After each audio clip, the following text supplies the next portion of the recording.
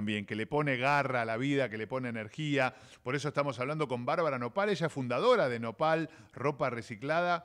Qué buena ropa estamos viendo acá. Ya la vamos a poner en ecomedios.com, en nuestro canal de YouTube. Pero le damos la bienvenida a Bárbara. Eh, ¿Cómo estás? Adrián Filinich te saluda. Buenas noches. Hola.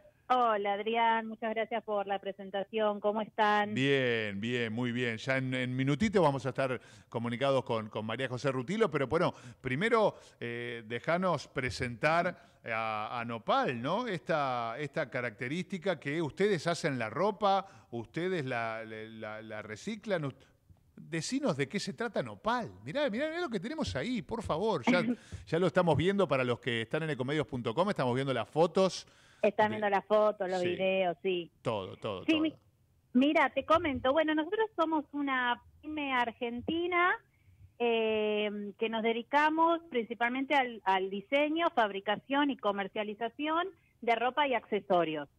Eh, dentro, digamos, de, de, las líneas que tenemos en, en nuestro negocio de, de, ropa, tenemos una muy fuerte que es la línea sostenible. Ajá. Que, que, bueno, más o menos arrancó aproximadamente dos, tres años, eh, que bueno, lo que nosotros hacemos es principalmente buscar tejidos certificados, en esto siempre hay un trabajo en conjunto con los proveedores de tela, uh -huh. eh, buscando tejidos, ya sean orgánicos, ya sean de fuentes de, por ejemplo, 100% poliéster reciclado, y bueno, y a partir de, de, digamos, de esta alianza que hicimos con estos proveedores, eh, comenzamos con esta línea sostenible y bueno, y después obviamente eh, todo nuestro negocio, si querés ahora después te cuento de otras acciones que también estamos haciendo, sí. eh, siempre tratamos de ir eh, que, anclándonos en este tema de eh, poder hacer mejorar nuestros procesos, ya sean internos como, como negocio, como también propuestas distintas para, para el consumidor, tratar de siempre llevar con un mensaje que vaya mucho más allá eh, cambios de quizás eh, concientización de hábitos, eh, acciones que hemos hecho con algunas organizaciones. Así que bueno, como que intentamos siempre poder ir por ese lado. Fíjate, eh, y de paso le doy la bienvenida a María José Rutilo, titular de Zapatillas Verdes. Fíjate las fotos que estamos compartiendo ¿no? en, en pantalla en ecomedios.com, en nuestro canal de YouTube, eh, de toda esta ropa. Majito, bienvenida, ¿cómo estás?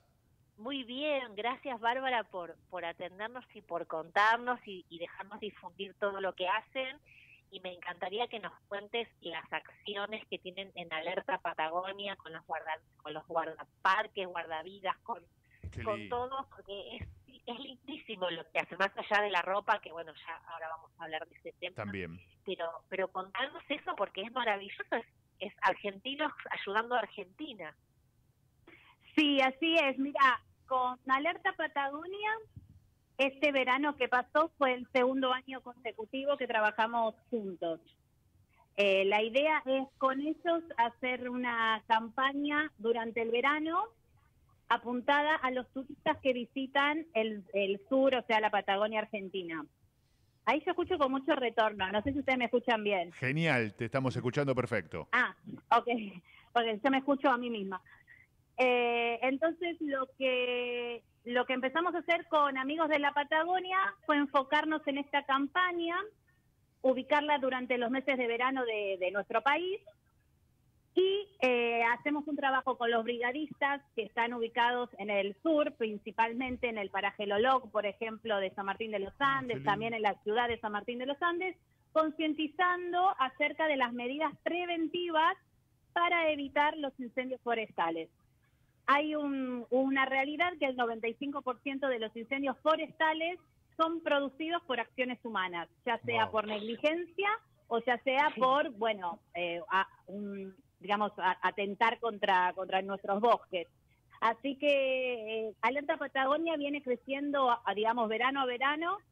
Eh, este año también trabajamos con una ilustradora de Bariloche, que hicimos todo lo que fue la comunicación y Después, luego también hacemos el, bueno, este año no, pero el año pasado hicimos unos kits que se vendían para la gente que quería contribuir y la plata que se juntaba se eh, colocaba en árboles para reforestar digamos bosques que fueron que se fueron incendiados previamente. Uh -huh. Así que ahí wow. terminábamos de armar como todo el círculo.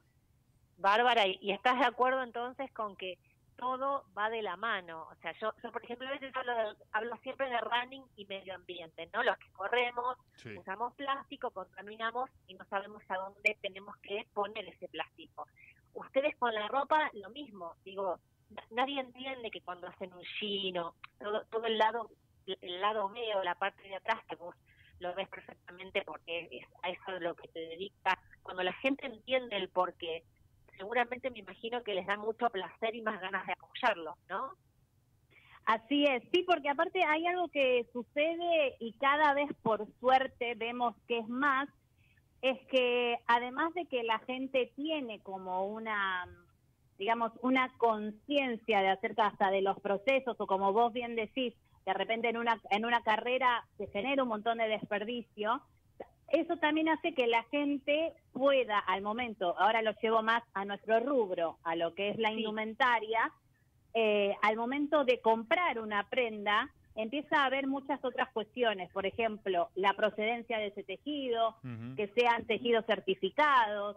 Entonces, todo eso que le empieza a dar valor a la prenda hace que el consumidor, o sea, que la gente, también esté más permeable hasta a veces gastar un poco más pero ir por prendas que, bueno, saben de dónde viene el proceso, saben que le va a durar un montón de tiempo, eh, y bueno, y saben de otras acciones también que, por ejemplo, puede hacer un, negocio como nuestro, eh, que después se desprende en, en otras acciones, que no es solamente comprar la prenda, es que seguramente vas a recibir la prenda y vas a recibir información sobre, por ejemplo, Alerta Patagonia o, eh, bueno, sobre distintas acciones que vamos haciendo a lo largo del año.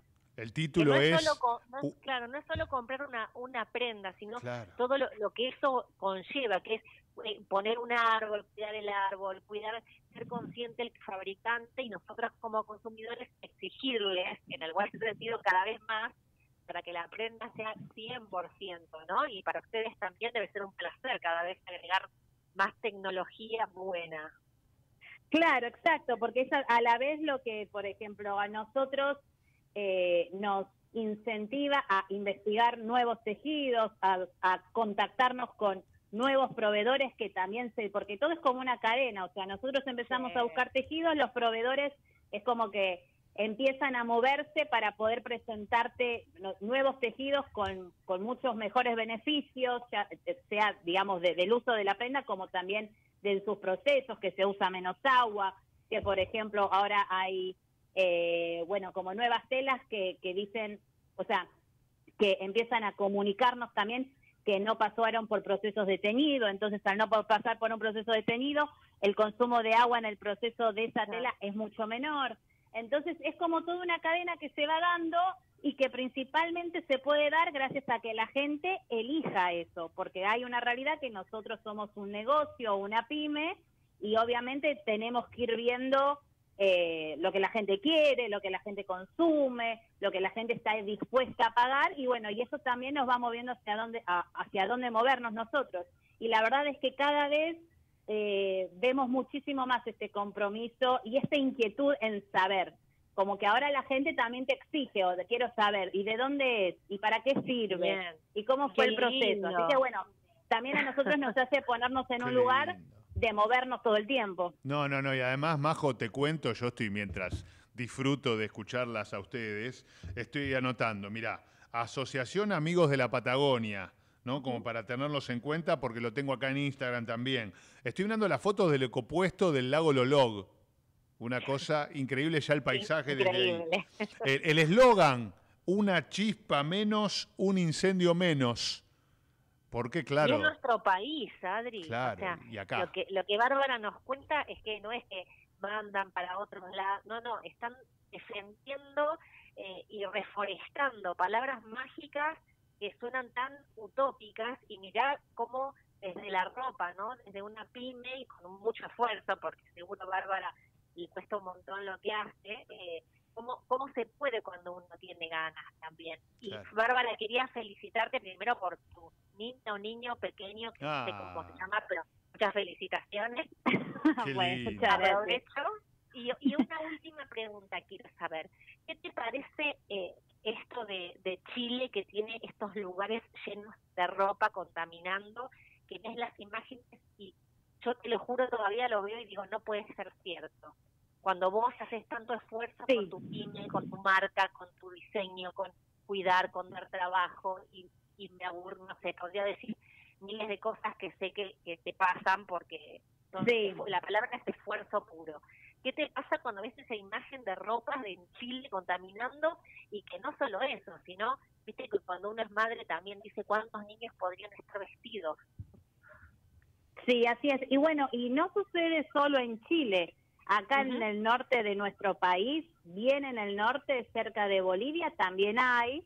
Eh, son, digamos, e, esos lugares de basureros textiles o basureros de ropa, casi siempre son eh, las temporadas de marcas más que nada del fast fashion, casi todas de, bueno, de procedencia de Estados Unidos, que cuando ya no se vendió, no tienen espacio, les sale más barato mandarla para acá y tirarla en estos desiertos. Así que eh, tomando, digamos, eso en cuenta, obviamente que esto quizás es una, una mirada más mía, más personal, que obviamente atraviesa también a nuestro negocio, eh, creo que el tema de la concientización, que por suerte cada vez es más fuerte y la gente cada vez se entera más de, estas cosas, también gracias a las redes sociales, porque hoy en día va cualquier persona, saca un video, lo sube y de repente todos nos estamos enterando de esto. Quizás hace 30 años atrás no pasaba.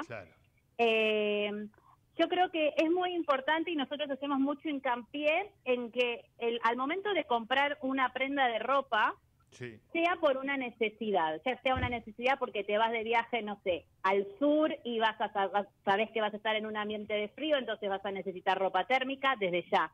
Quizás estás acá en la ciudad y de repente se nos vinieron todos estos días de lluvia y vas a necesitar o una capa de lluvia mm. o, o algo, digamos, para obviamente salir y seguir viviendo tu vida. Entonces, que la compra de la ropa nazca por una necesidad, después también obviamente está el tema de que si te gusta, no te gusta, pero nosotros siempre, por ejemplo, una política que tenemos nuestra es que no hacemos, eh, cuando llegan estas fechas masivas de compra, donde la gente a veces un poco se pone media convulsionada, ya sea el Cyber Monday o el Black Friday, y nosotros nunca hacemos, hasta ahora nunca hicimos una, digamos, una rebaja em, agresiva de precios. Esto es por algo que nosotros también pensamos de que al momento de que nosotros ponemos un precio, con todo lo que conlleva la materia prima, la costura, eh, la estructura de nuestros negocios, la gente que trabaja, el packaging, todo, todo tiene un valor, la etiquetita. Eh, nosotros a veces en, algunas líneas intentamos eh, invertir más plata en el packaging para que después sea reutilizable y no termine la bolsa en la basura. Mm. Todo eso tiene un valor y nosotros tratamos de respetarlo y no después para esas fechas ponerlo muy bajo y generar también como esta compra totalmente compulsiva y no racional. Y creo que va también un poco por ahí, en que si, si te vas a comprar algo, comprátelo, usalo, usalo hasta que se te desarme, digamos, pasáselo a tu hermano. Si, si se te rompió por alguna cuestión que puede pasar, no sé, te fuiste a un bosque, se te enganchaste con una rama, arreglalo, ponele un parche, dale otra onda, usalo, para que no pase esto, que después todo termina como descartable, ¿no? Ah, lo usé tres veces o pasó de moda, chau, lo tiré a la basura. Y además en estos lugares, ¿no? Acá, acá, estoy mirando además, hablando de, invertir o de darle una vuelta de tuerca, estoy mirando el diseño. Vos hablaste de Bariloche y creo que encontré a José Pinta, ¿no? Este, este arte digital que está ahí en la avenida Bustillo. Exacto, sí, bueno, José Pinta fue la ilustradora con la que hicimos este año la campaña de Alerta Patagonia, que hace vos un rato hablabas del eslogan, una chispa menos, un incendio menos, que también conceptualmente habla de algo chiquito como una chispa, como una persona, se puede convertir en algo gigante, ya sea un incendio o lo podés llevar a algo positivo, a una persona, pero si muchas personas hacen una buena acción, terminamos en una acción conjunta, colectiva, eh, súper fuerte, ¿no? Entonces, ah, íbamos un poco por ahí. Y José Pinta, bueno, fue la encargada de ilustrar todo lo que fue la parte de comunicación, bueno, y ella también siempre tiene como como en, en, sus valores y lo que comunica, mucho respeto por, bueno, por las comunidades, por la naturaleza, y ella, bueno, a su vez, ya que estamos, tiene un como un track de, bueno, de los productos que ella realiza ahí en, en La Bustillo, en, Bariloche. Qué lindo. Eh, así que sí, siempre tratamos también de armar alianzas con, sí, con gente por lo general que, que digamos, que, que, se interesa y que naturalmente se quiere sumar a estas acciones. Con Alerta Patagonia, con los chicos de Amigos de la Patagonia, venimos trabajando súper bien y cuando le dijimos a José Pintas si se quería sumar, al otro día ya estábamos trabajando todos. es como, dices eh, que con la cosa cuando va. Cuando va, cuando suma, cuando tracciona, cuando la sinergia de uno se suma. Bueno, también estamos para eso acá, ¿eh? eh en, sumar, en darle nuestra postura, Majo de Zapatillas Verdes, la radio, el programa, todo, todo suma. Vos fíjate lo que están haciendo ellos, Majo. Eh, te enseñan a vestirte, te enseñan a ponerte las tres capas básicas ¿eh? la capa térmica, la capa aislante, eh, la capa exterior. O sea, uno, uno aprende todo, porque claro, va a ir a lugares de frío, por ejemplo, digo, Bariloche, San Martín de los Andes, el lago Lolog, y claro, tiene que llevar y cuidarse. Y no tres kilos, ¿no? Como me mandaba mi, mi, abuela con lana. Exacto. Sí. que transpiraba. Y se moja, además, y ya está, no sirve de nada, no te enfría nada. Este, calentito y seco clave, calentito y seco. Mira las cosas que estoy aprendiendo escuchando una nota de radio a las 7 y 20 de la tarde, por favor, qué lindo. Pero se nota que lo hacen con amor, Bárbara, se nota que, lo hacen con mucho amor. Es, muy real lo que decís, Adrián, que a veces pasa por la no información. Eh, a veces llega mucho el frío y, y a veces está ese concepto de, ay, me tengo que llenar de bufanda de lana, gorro de lana, suéter de lana, y en realidad para el frío eh, es mucho más inteligente y más, hasta, digamos, eh, sostenible eh, vestirte de otra manera. Entonces nosotros también tratamos de comunicar eso, porque obviamente no todos lo saben y, es normal, porque yo de muchas otras cosas obviamente no tengo ni idea.